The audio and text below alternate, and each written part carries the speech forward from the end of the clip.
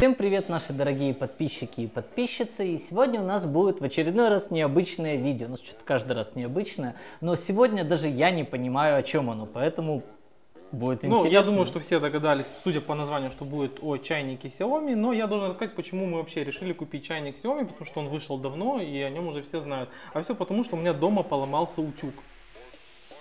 Да, и я решил купить новый утюг, начал искать, э, не мог определиться, какой купить, вспомнил, что Xiaomi делает все, от швабры до зубной щетки, и оказалось, что утюги они не делают, но делают чайники. И поэтому я решил купить умный чайник Xiaomi и вам рассказать, в чем же он такой умный.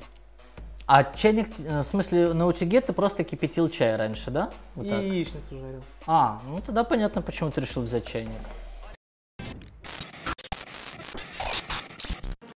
Немного неловко снимать обзор чайника, блин, они все, в общем-то, одинаковые, состоят из двух частей. Это, собственно, вот сам чайник такой красивый. Ну и диск, да, который этот чайник питает. Кабель можно спрятать вот внизу, то есть все как в обычных чайниках, но отличие все же есть. Пока Денис Так, не так. поломал, а, есть специальная кнопочка, которая открывает чайник и открывается только на 45 градусов, что позволяет тебе не обжечься, если ты только закипятил чайник. Чтобы открыть полностью, надо а, приложить Мгм. усилия. А, следующая особенность этого чайника, у него нет никаких пластиковых прозрачных э, частей, что должно сказаться на его долговечности, потому что они не будут протекать со временем. А, но это же как бы и не очень удобно, потому что шкала Внутри, внутри, да, да, то есть чтобы понять, что тебе надо налить пол-литра или литр воды, надо туда заглядывать, то есть тут никакого поплавка нет. Мне еще знаешь, что выморозило? Я думал, это будут слышать даже наши подписчики. Крышка закрывается довольно громко. И вот у меня уже дома все проснулись.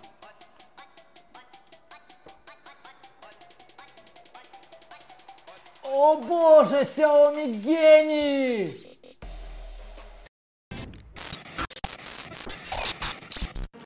На ручке чайника есть две сенсорные кнопки, это Boil и Warm, то есть закипятить и подогреть. Нам же как раз интересна вторая кнопка и смарт-возможности Xiaomi Kettle.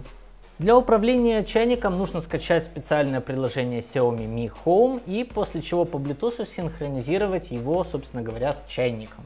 Тут мы должны с вами поделиться маленьким лайфхаком, потому что если выставить регион Украина или Россия, чайник не находится. Прекрасно. Поэт- Да, поэтому я поставил регион Сингапур, и чайник нормально, прекрасно заработал. За что же, за что же мы так не любим софт Xiaomi? Ты не знаешь? Видимо, за это. Что можно с этим чайником сделать в этом приложении?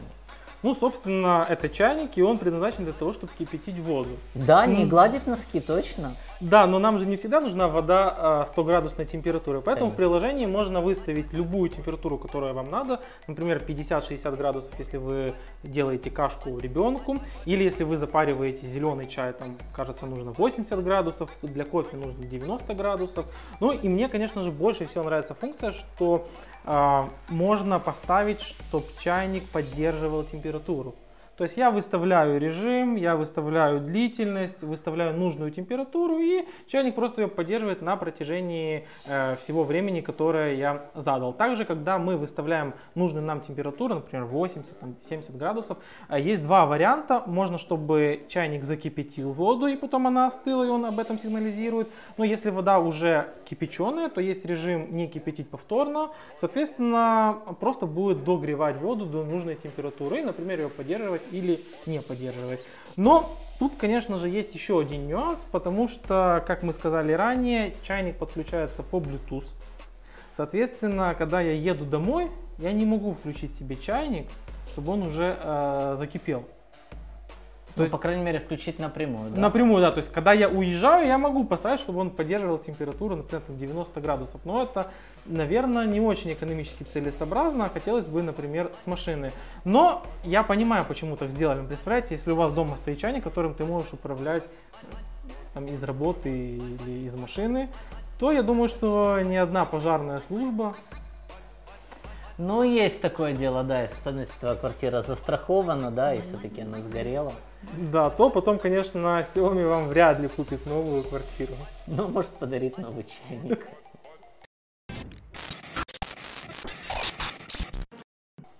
Поскольку мы имеем дело с китайским производителем, у нас возникла некоторая подозрение, что мало ли как там работает основная функция, то есть кипячение воды. И мы поэтому решили сравнить с чайниками, которыми пользуемся все время. У меня вот такой замечательный Браун, например, между Да. прочим, чешской сборки. А у меня Philips, э, бог его знает какой сборки, но тут важно какая мощность у чайника. В моем Philips максимальная мощность 2400. А у меня, дай бог памяти или хотя бы зрения, максимальная мощность 2280. А у Xiaomi всего лишь 1800. И как бы для такой стоимости это немножко маловато. Но мы были бы не мы, если бы мы только замерили скорость закипания воды. Мы еще... Мы еще и решили сделать тесты камер этих чайников. Да, поэтому вы узнаете, насколько быстро остывает вода в этих чайниках, а еще и насколько они шумят. Ну, как фотки ночью шумят. Да, и чай. пишут ли они видео в Full HD. Итак, смотрите, как будет проходить наш тест. В каждом чайнике час по литру воды. На одном телефоне мы включаем э, секундомер, Да, а на, на, другом... втором мы включаем шумомер. Ну и мы, конечно, будем молчать, а вы просто увидите все это на ускоренной записи.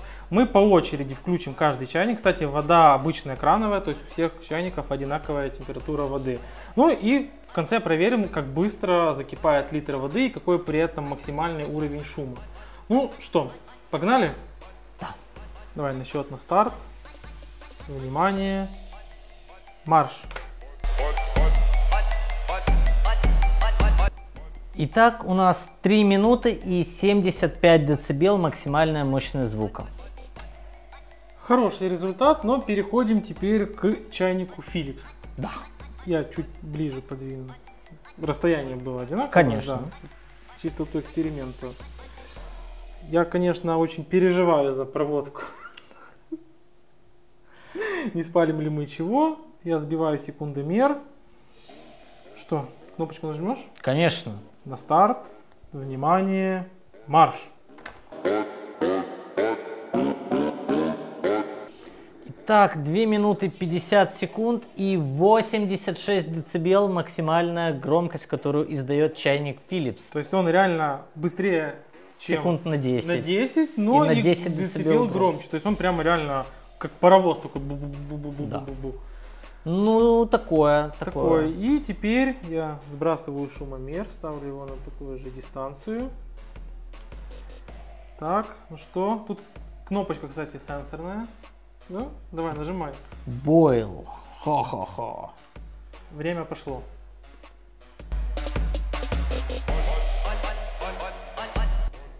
Ну что, у нас есть результат, это 3 минуты 51 секунда. И 75 децибел в максимуме. Но я должен сказать, что в основном он показывал 68-69 децибел, э, тогда как эти чайники показывали там 72, 73, 75, то есть он оказался самым тихим.